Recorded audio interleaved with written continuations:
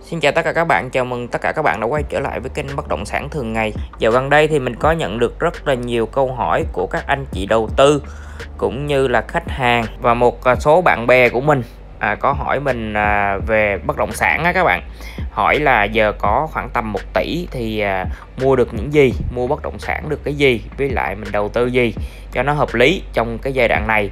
Thì nghe nói là thời điểm này là có bất động sản đang có cái à, chiều hướng là giảm đi.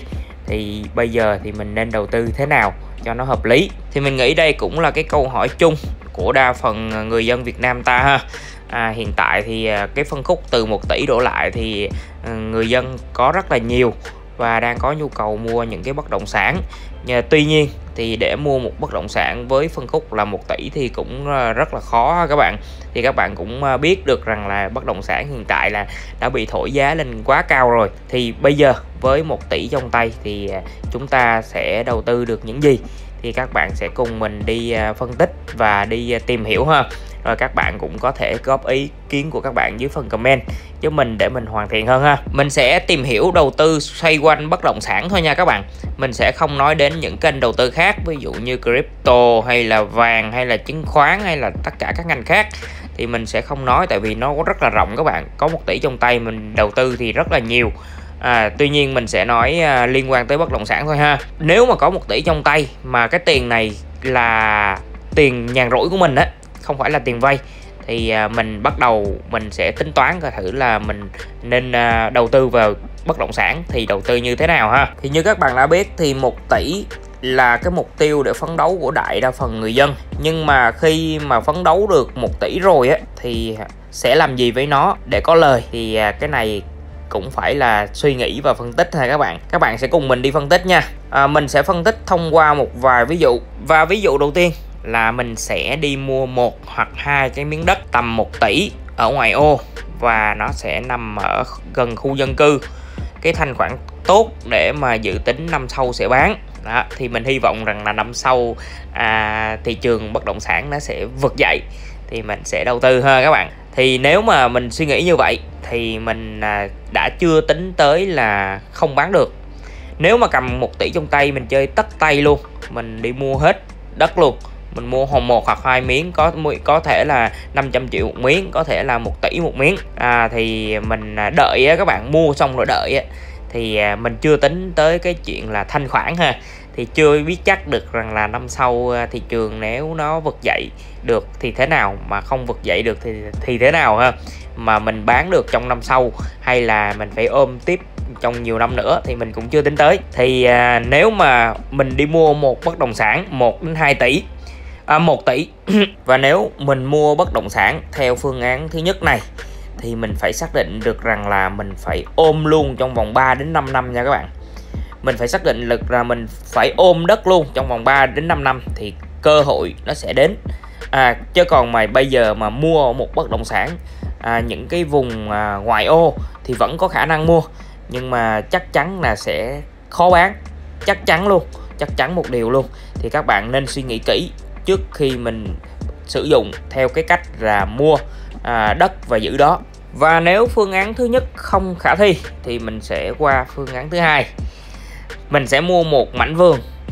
À, một mảnh vườn này có diện tích thì bây giờ thì tùy vị trí nha các bạn. Nó sẽ tầm à, 2.000 mét vuông đến 5.000 mét vuông. À, bất động sản này nằm ở vùng ven để mình trồng rau mình nuôi cá mình canh tác nói chung là mình làm nông đó các bạn. Thì à, nếu mà một tỷ này mà mình mua 2.000 đến 5.000 mét vuông thì à, thật sự ra là không đủ để trồng rau hả các bạn? Phương án thứ hai này có coi vẻ là không khả thi. Lý do là cái diện tích nó quá nhỏ. Nếu mà mình mua 2.000 mét vuông để mình trồng rau nuôi cá canh tác á, thì nó không có thấm thía gì hết á. Người ta canh tác người ta làm rau làm nông nghiệp thì đòi hỏi phải đất phải lớn phải là mấy hecta thì người ta kinh doanh như thế nó mới có lời ha các bạn? Vậy thôi mình bỏ qua phương án thứ hai. Mình tiếp tục phương án thứ ba. Thì rõ ràng nếu mà mình không uh, uh, mua đất mình không ôm đất mình không uh, đi mua vườn để mình làm vườn thì uh, mình uh, chuyển sang là đi uh, thuê đất làm nông nghiệp thử coi thử nó có hợp lý hay không. À, thì hiện tại cái tiền thuê đất một năm cải tạo phân bón nhân công rồi à, vân vân và vân vân. Một năm thu khoảng tầm 3 đến 4 vụ. Thì à, à, cái này thì các bạn đòi hỏi phải tính toán lại ha. Tuy nhiên á thì à, nếu mà đi thuê đất để làm nông nghiệp thì các bạn nên tính tới yếu tố rủi ro. Tại vì à, mình là cũng xuất thân từ từ dân nhà nông cho nên là mình cũng biết rằng là à, làm nông nó phụ thuộc vào mùa các bạn. Phụ thuộc vào cái trúng mùa hay không thì nếu mà mình cái mùa đó mà giá đi xuống thì mình cũng ờ, bầm chày luôn. Mình cũng không có lợi nhuận gì luôn. Đó có mùa không có giá thì thôi đi Bình Dương làm công nhân luôn á. Đó. là một cái ờ, rủi ro các bạn. Cho nên là làm nông à, hiện tại thì nếu mà cầm một tỷ trong tay làm nông có nhiều khi lỗ sắp mặt. Cũng nên do mình kinh nghiệm không có. Nếu như phương án thuê đất này không khả thi thì ok mình sẽ qua một phương án nữa với 1 tỷ mình sẽ mua một căn nhà ở ngoại ô gần khu công nghiệp để cho thuê. Đó là mình đầu tư vào bất động sản để cho thuê ha. Thì nếu mà 1 tỷ thì mình nghĩ là mua được một bất động sản tầm à, à, cho thuê được tầm khoảng tầm 2 triệu thôi các bạn. Không à, cho thuê nhiều hơn được à, thì 1 tỷ mà mình thuê được cho thuê được khoảng 2 triệu là dữ giỏi rồi. Có thể là nó sẽ cao hơn 3 triệu 4 triệu gì đó. À, thì mình tính uh, chi phí này kia luôn thì khoảng tầm 2 triệu một tháng là tiền lời ròng ha các bạn. Thì rõ ràng là một năm mình dư ra được 24 triệu cộng với cái tiền đất nó lên giá khoảng tầm là 15% nếu mà theo xu hướng tốt bất động sản xu hướng tốt. Thì nếu mà đất không lên thì cứ ôm tiếp thôi y như là phương án 1 cứ ôm hoài ôm ôm mãi vậy đó thì à, cái tiền nhàn rỗi nó sẽ về trong năm là được à, 24 triệu.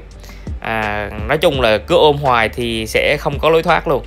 Thì ở, ở trọ thì nó có một cái rủi ro mình cho thuê trọ có một cái rủi ro như thế này nè. Lâu lâu họ đấm nhau sức đầu mẹ chán nghiện hút rồi nhậu nhẹt là ai quản lý. Đó mình là người quản lý và mình là người chịu trách nhiệm tại vì đó là nhà của mình mà các bạn. Đó thì cái đây là rất là đầu cái đầu luôn ha. Đổi 24 triệu một năm hoặc là có thể cao hơn cho 50 triệu đi để mà mình đau cái đầu hơn thì à, à, các bạn có dám bỏ một tỷ ra để đau đầu hơn hay không? À, phương án này cũng coi như là không hợp lý nha các bạn. Và nếu phương án mà mình đi mua nhà ngoài ô cho thuê không hợp lý thì ok với một tỷ này mình sẽ chung đầu tư với bạn bè à, để mà mua một miếng đất xong rồi mình xây nhà luôn. Mình bán ra.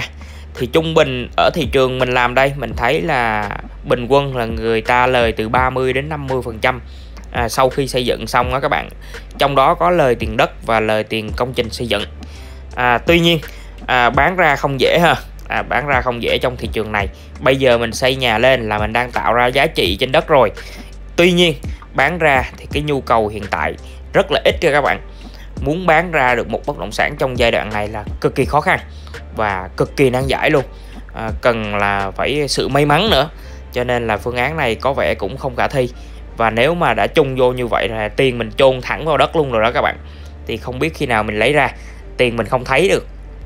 Vậy thì nếu tài chính 1 tỷ mình không làm được những cái ví dụ như trên thì ok mình sẽ có một phương án nữa là mình đi mua một cái căn nhà nhỏ để mình cải tạo mình bán á các bạn. À, mua nhà nhỏ cải tạo. Thì với 1 tỷ thì mình sẽ à, không mua được nhà các bạn. Mua được đất là đã khó rồi giờ mình mua nhà nữa thì chắc cũng khó hơn nữa. Cho nên là 1 tỷ không đủ mua và không tính tới chi phí sửa chữa rồi này kia nữa thì rõ ràng là một tỷ thiếu các bạn. À, mình mình tính trên bài toán là chi phí là mình một tỷ đổ lại thôi mà. Cho nên là không có đủ chi phí để mà thực hiện cái phương án này là mua nhà nhỏ để cải tạo để bán. Rồi vậy thì phương án tiếp theo nữa. Còn một phương án nữa mình đề xuất là à, mình có thể đi mua hai căn nhà vi băng. Này thì rủi ro ha. À, cho thuê 4 triệu đợi giá lên thì bán khoảng tầm à, 30 phần trăm theo lợi nhuận kỳ vọng. Tuy nhiên thì cái nhà vi bằng thì các bạn biết rồi nhà giấy tay vi bằng thì pháp lý nó không rõ ràng rủi ro dính quy hoạch rất là cao. Nhiều khi thì xây trái phép trên đất nông nghiệp luôn. À, chủ thì nhiều khi trên đất thổ cư thì chủ lại đem sổ đi cầm rồi. Và mình coi như là mình ăn cám luôn đó đi ăn cám luôn. Thua cầm 1 tỷ là cho thẳng vào chủ đầu tư luôn à, cho vào thẳng à, người, người dân luôn. Và trên đây đó là những phương án của mình. Nếu mà các bạn cầm trong tay 1 tỷ thì các bạn sẽ thực hiện được những cái à, công việc liên quan đến bất động sản như thế. Thì nói chung hiện tại thì theo ý mình là 1 tỷ chưa giải quyết được vấn đề gì hết. Khi nói đến bất động sản đặc biệt là khi đầu tư ha mình một tỷ trong tay là mình chưa đầu tư được gì hết. Thời điểm này nếu mà các bạn muốn đầu tư thì các bạn phải đi vay nhưng mà lãi vay thì rất là cao, cũng không ăn thua. Thời điểm này mà đồng tiền thì mất giá 1 tỷ có thể cả đời mình mới tích góp được. Nhưng à, đối với người khác thì không làm được gì cả. Không làm được nữa các bạn. Rõ ràng là mình không làm được gì. Khi mình cầm 1 tỷ trong tay, mình không mua được bất động sản nào hết. Rất là khó, rất là khó trong à, việc lựa chọn. Và thời điểm này nếu mà kiếm tiền đã khó rồi, nhưng mà giữ tiền thì các bạn thấy không? Rất là khó ha. Và đặc biệt còn khó hơn nữa là để tiền để ra tiền trong thời điểm này. Đa ngành, đa nghề luôn. Tất cả các ngành nghề luôn, chứ không phải là chỉ có một ngành bất động sản đâu. Để mà xin lời trên, tiền nó để ra tiền thì rất là khó khăn, không phải dễ dàng. Nếu mà không có kiến thức, không có kinh nghiệm thì cũng coi như là thua luôn. Không riêng gì bất động sản ha các bạn. Tất cả các ngành nghề khác đều như vậy luôn. Và rủi ro rất cao khi toàn thị trường đang bị khủng hoảng. Chi phí thì tăng cao. Người dân thì thắt chặt cái hầu bao hơn không có dám bung tiền ra. Cầu giảm à, sức mua thì không còn cho nên là mọi ngành nghề luôn đều gặp khó. Bây giờ thì ngoài cái à, những cái ngành hàng cái mặt hàng ăn uống thiết yếu thì rất ít cơ hội để đầu tư. À, các ngành khác rất ít cơ hội để đầu tư luôn. Xin lời từ kinh doanh buôn bán là rất là khó. Thời điểm này sống để qua cái cơn khó khăn đã khó rồi chứ chưa nghĩ đến là làm để đầu tư. Thực sự mà nói là như vậy luôn đó các bạn. Thời kỳ này là thời kỳ cực kỳ khó khăn. Và hàng trăm hàng ngàn cái khó khăn khác. Nếu như mình có một tỷ trong tay thì à, gửi ngân hàng sẽ là cái giải pháp tốt nhất đỡ đau đầu nhất và nó ít rủi ro nhất. Mình nói ít rủi ro chứ không phải là không có rủi ro nha các bạn. Thì dạo gần đây các bạn cũng biết thị trường ngân hàng cũng đang tiềm ẩn nhiều rủi ro khác nhau đó nếu mà mình không trang bị đủ kiến thức và kinh nghiệm nha thì à, gửi ngân hàng là nó ít rủi ro nhất và mình nên chờ cái cơn sóng này nó qua đi để mình à, kiếm kế mưu sinh tiếp. Vậy thì à, theo các bạn có một tỷ trong tay các bạn sẽ làm gì trong giai đoạn này? Và có cách nào để đầu tư sinh lời tốt hay không? Đầu tư vào bất động sản nha các bạn thì các bạn có thể góp ý cho mình và mọi người cùng biết dưới phần comment nhé. Và cuối cùng, mình xin kính chúc tất cả các bạn sức khỏe và thành công, vượt qua những cái khó khăn này và tìm kiếm được cơ hội đầu tư tốt hơn nha. Cảm ơn tất cả các bạn. Hẹn các bạn ở những video clip tiếp theo.